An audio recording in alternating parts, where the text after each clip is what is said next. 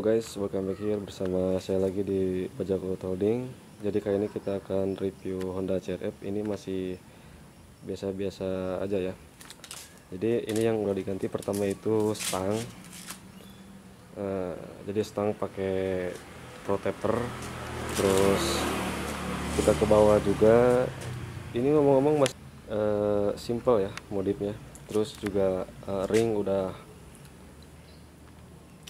dan juga ring juga udah diganti juga terus buat pelek dan pelek ini eh, menggunakan dari Scarlett ya peleknya yang depan itu menggunakan pelek 17 per 100 dan untuk bannya yang depan itu 120 ukurannya.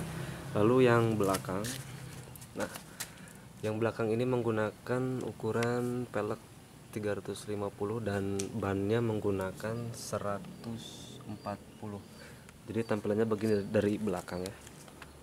Oke.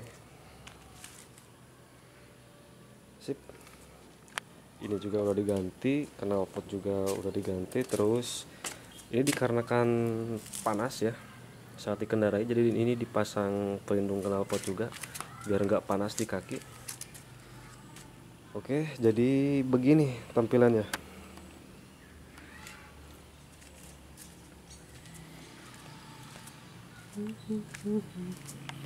Ini tampak dari samping kanan.